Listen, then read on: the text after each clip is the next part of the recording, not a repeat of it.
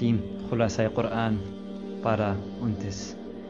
برکت چاہتے ہو، اللہ سے چاہو۔ اس کی ذات برکت والی ہے۔ ہر چیز کا مالک اللہ ہے۔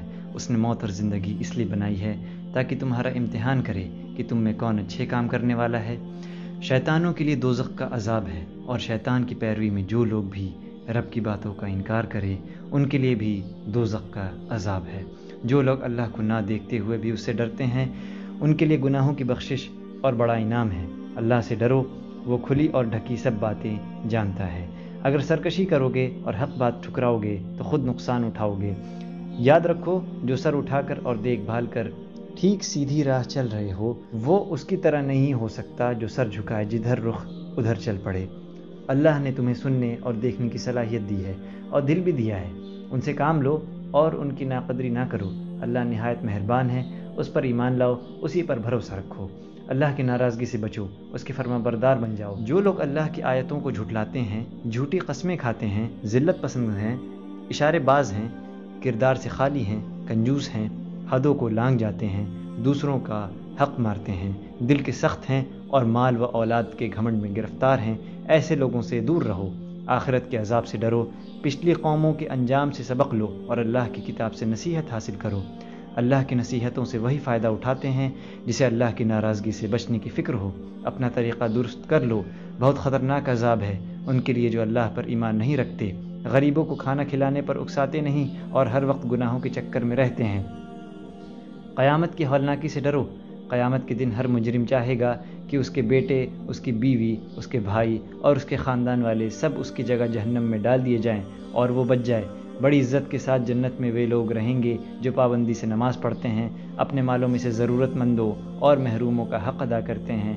حساب کے دن کو سچ مانتے ہیں، اپنے رب کے عذاب سے ڈرتے ہیں اپنی شرمگاہوں کی حفاظت کرتے ہیں، حدود کا خیال رکھتے ہیں، اپنی امانتوں اور اپنے عہد کا پاس و لحاظ رکھتے ہیں، اپنی گواہی ادا کرتے ہیں اور اپنی نمازوں کے تقاضے پورے کرتے ہیں۔ نبی تمہارا خیر خواہ ہے، وہ تمہیں برے انجام سے خبردار کرتا ہے۔ نبی کی بات مانو، اللہ کی عبادت کرو اور اس کی ناراضگی سے بچو۔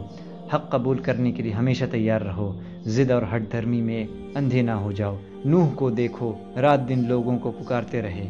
اعلانیہ بھی پکارا اور تنہائی میں بھی سمجھایا اور طرح طرح سے سمجھایا کہ اپنے رب سے گناہوں کی معافی مانگو۔ وہ تمہیں بہت نوازے گا، مگر لوگوں کی ہٹ دھرمی دیکھو کہ نبی کی دعوت سے بھاگتے، کانوں میں انگلیاں دے لیتے اور کپڑے لپیٹ لیتے۔ نبی کی نافرمانی کرتے اور شیطانوں کے اندھی اطاعت کرتے۔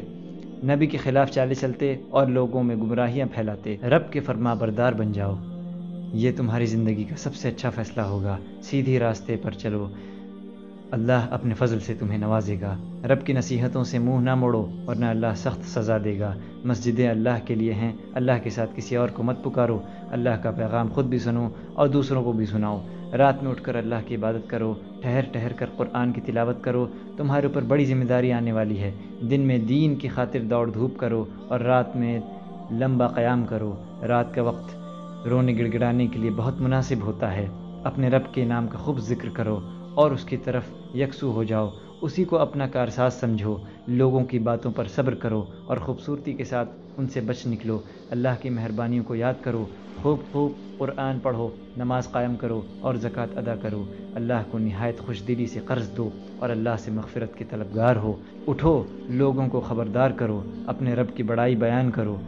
اپنے دامن کو پاک رکھو۔ مایوسی سے دور رہو۔ دعوتی جد و جہد جاری رکھو، اپنے رب کی راہ میں ثابت قدم رہو، قیامت کے دن کی فکر کرو، وہ بہت سخت دن ہوگا۔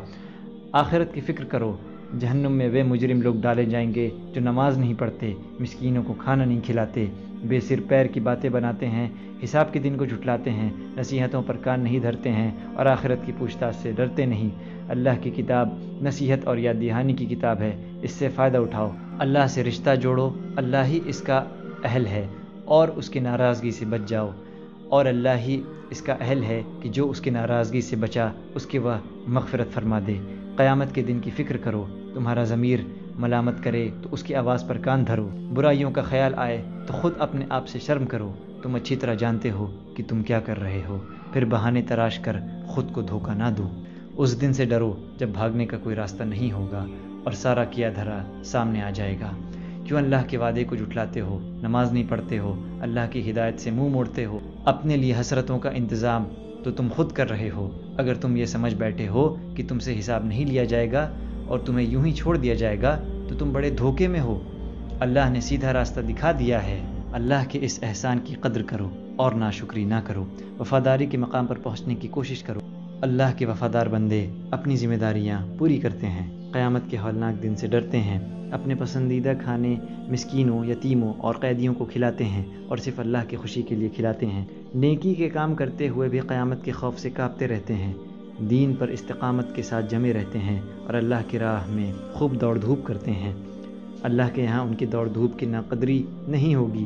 اللہ نے یہ قرآن بڑے اہتمام سے اتارا ہے۔ اس کی قدر کرو، دین پر جمے رہو۔ اور کسی بد کردار اور ناشکرے کی بات کو وزن نہ دو۔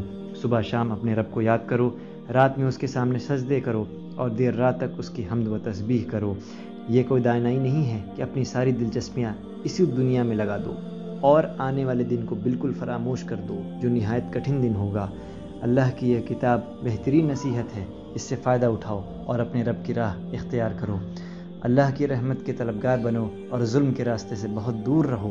اللہ کی کتاب کو جھٹلانا اور مجرموں کے طریقوں پر چلنا۔ سراسر تباہی کا راستہ ہے۔ اللہ کی ناراضگی سے بچو اور اللہ کو خوش کرنے والے اچھے سے اچھے کام کرو۔